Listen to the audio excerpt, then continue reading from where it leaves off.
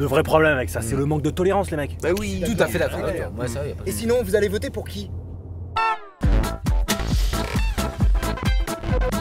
Écoutez les gars, je vais être franc, je préférerais qu'on parle pas politique pendant le trajet. T'es sérieux? Ouais, à chaque fois ça se passe mal, tu vois, ça crée des embrouilles. Puis Ouais, après, non, j'ai mais des d'accord, mais. Enfin, tu vois, là, on est sur la même longueur d'onde, je pense que ça va bien se passer. Bah bien sûr. C'est pas sûr.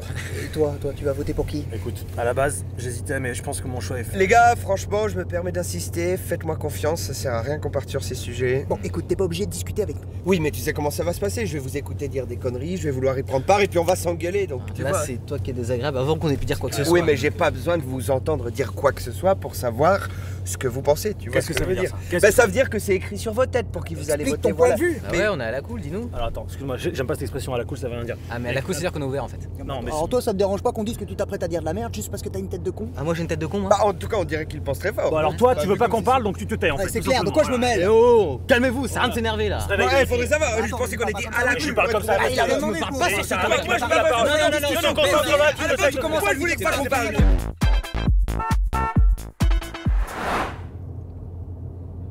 Je vous l'avais dit qu'on n'était pas sur la même longueur d'onde.